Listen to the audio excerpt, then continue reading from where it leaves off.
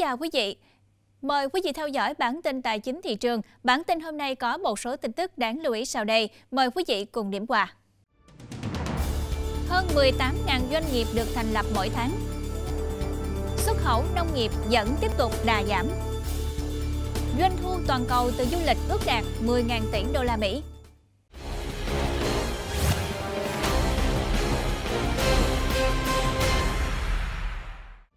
Thưa quý vị, số liệu của Ngân hàng Nhà nước Việt Nam cho thấy, tính đến nay, trong gói hỗ trợ 120.000 tỷ đồng mới có 3 dự án nhà ở xã hội tại tỉnh Phú Thọ, Quảng Ninh, Bắc Ninh được ký hợp đồng tài trợ tín dụng với số tiền giải ngân đạt 82,7 tỷ đồng, tỷ lệ chưa đạt 1%.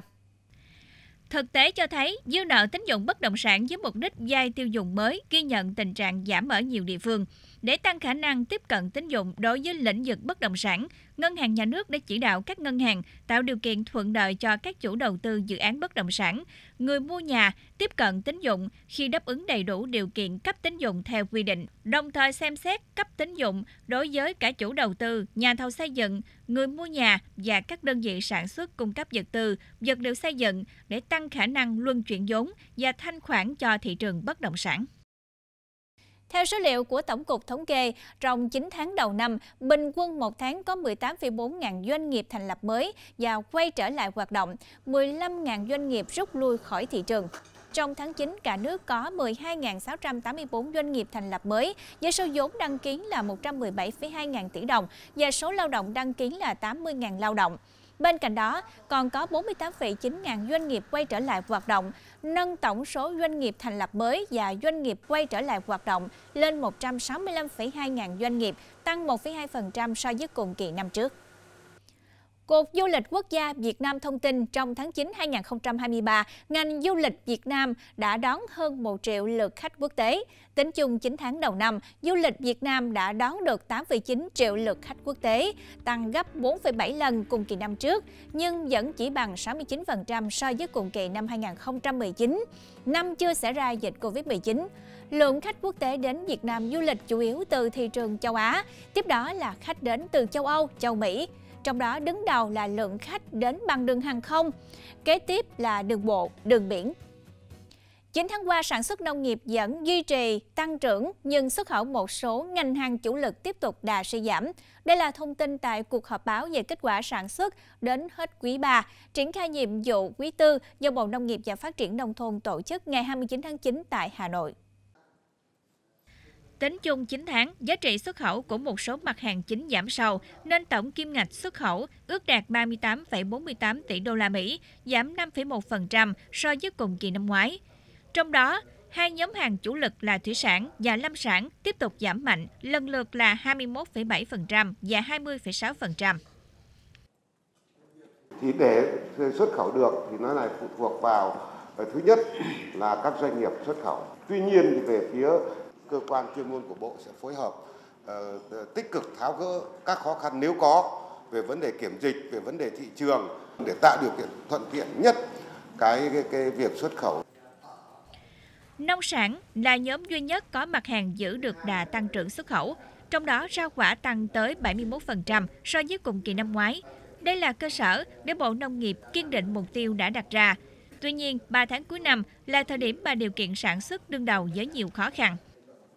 Chúng ta phải khống chế được dịch bệnh trên gia súc gia cầm cũng như là trên trên trên trên, trên cây trồng vật nuôi để làm sao chúng ta những cái vụ mùa rồi vụ thu đông là chúng ta phải đạt được.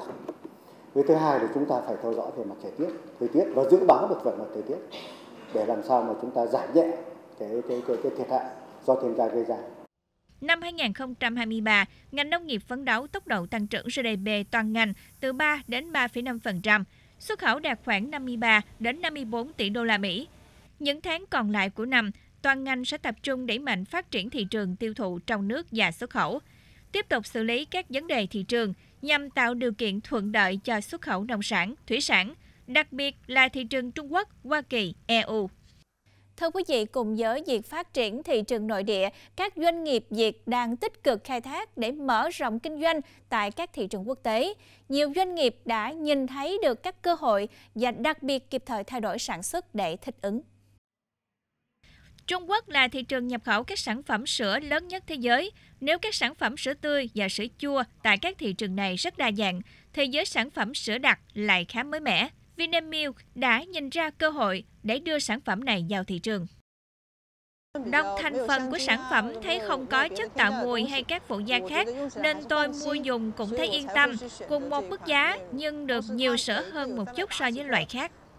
Đây là một đại lý phân phối sữa đặc ông Thọ tại tỉnh Quảng Đông của Trung Quốc. Trung bình một tháng từ đây sẽ phân phối tới 3.000 đến 4.000 thùng ra khắp thị trường ở tỉnh Quảng Đông. Một số lượng tương tự cũng đang được phân phối khắp thị trường tỉnh Dân Nam Trung Quốc. Tuy nhiên, ở mỗi địa phương, sản phẩm đều được điều chỉnh lại hương vị cho phù hợp với khẩu vị của người bản địa.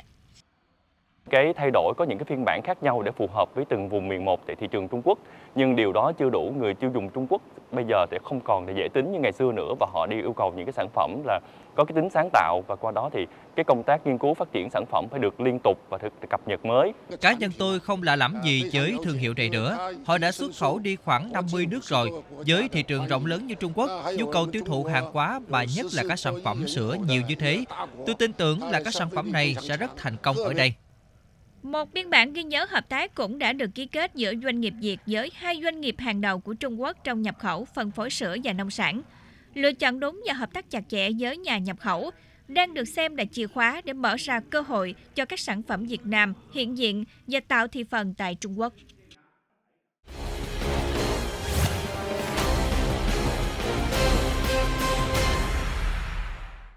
Bản tin tiếp tục với một số tin tức tài chính thị trường thế giới ngành công nghiệp không khói đang phục hồi tích cực sau đại dịch Covid-19 và dự báo đến cuối năm nay, doanh thu từ du lịch toàn cầu sẽ quay trở lại mức 10.000 tỷ đô la Mỹ bằng với mức trước khi đại dịch xuất hiện. Theo số liệu của Hội đồng Du lịch và Lữ hành Thế giới, trước Covid-19, ngành du lịch và lữ hành đóng góp 10% vào tổng sản phẩm quốc nội GDP toàn cầu và tạo ra 10% số việc làm trên toàn thế giới – đại dịch Covid-19 bùng phát đã làm bốc hơi nhiều việc làm và khiến nhiều doanh nghiệp phải đóng cửa. Tuy nhiên, theo dữ liệu của Tổ chức Du lịch Thế giới của Liên Hợp Quốc, lĩnh vực du lịch toàn cầu đang phục hồi tốt với số lượng khách du lịch trong 7 tháng đầu năm nay đã đạt 84% mức trước đại dịch. Cũng theo tổ chức này, việc Trung Quốc điều chỉnh các quy định phòng dịch COVID-19 và việc các thị trường khác ở châu Á mở cửa trở lại sẽ giúp thúc đẩy ngành du lịch của khu vực và nhiều nơi trên thế giới. Khu hành chính đặc biệt Hồng Kông Trung Quốc dự kiến sẽ thu hút hàng triệu du khách đến từ Trung Quốc đại lục nhân dịp tuần lễ vàng, trong đó tỷ lệ lấp đầy khách sạn ước tính lên tới hơn 90%. Thưa quý vị, đây là dịp lễ lớn trong năm của Trung Quốc khi người dân được nghỉ nhân dịp Tết Trung Thu và lễ Quốc Khánh. Trong tuần lễ vàng, chính quyền Hồng Kông và các đơn vị kinh doanh trực thuộc đã phát động nhiều chương trình ưu đãi, đồng thời tổ chức các sự kiện chào mừng du khách đến thăm đặc khu này. Cục Phát triển Hồng Kông sẽ hỗ trợ trong thời gian đầu khi các khu chợ đêm được mở từ ngày 27 tháng 9 đến 2 tháng 10 trong dịp Tết Trung Thu và Quốc Khánh Trung Quốc và vào các ngày từ thứ Sáu đến Chủ nhật hàng tuần trong tháng 10.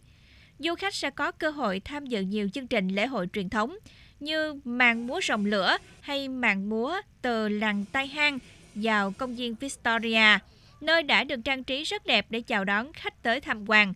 Vào ngày 1 tháng 10, Hồng Kông sẽ tổ chức bắn pháo hoa kỷ niệm Ngày Quốc khánh Trung Quốc. Ngoài các chương trình vui chơi, chính quyền và một số tổ chức cũng đã kết hợp đưa ra một số chương trình giảm giá hấp dẫn như giảm nửa giá vé xem phim, miễn phí các bể bơi công cộng, miễn phí tham quan các triển lãm. Khoảng 1.800 nhà hàng ở Hồng Kông đã đăng ký giảm 30% giá bàn trong hai ngày 1 và 2 tháng 10. Trong ngày 28 tháng 9, tập đoàn bất động sản đang gặp rắc rối Evergrande của Trung Quốc đã đình chỉ hoạt động giao dịch cổ phiếu trên sàn giao dịch chứng khoán Hồng Kông. Quyết định được đưa ra trong bối cảnh tập đoàn vẫn đang đối mặt với tình hình kinh doanh khó khăn. Thông báo cập nhật của sàn giao dịch Hồng Kông cho biết hoạt động giao dịch chứng khoán ở hai mảng khác của Evergrande là dịch vụ bất động sản và xe điện cũng ngừng hoạt động từ 9 giờ sáng cùng ngày. Overrun chỉ mới hoạt động trở lại tại sàn giao dịch Hồng Kông cách đây một tháng sau khi bị đình chỉ 17 tháng do không công bố được kết quả tài chính. Hôm 24 tháng 9, Overrun cho biết không thể phát hành trái phiếu và tiến hành kế hoạch tái cơ cấu nợ nước ngoài như dự kiến, với lý do công ty con là tập đoàn bất động sản Henda đang bị điều tra. Trước đó hai ngày, Overrun cũng thông báo cần phải đánh giá lại các điều khoản của kế hoạch tái cơ cấu nợ cho phù hợp với tình hình khách quan và nhu cầu của chủ nợ. Bản tin tài chính thị trường của Đài Phát thanh và Truyền hình Long An xin được khép lại.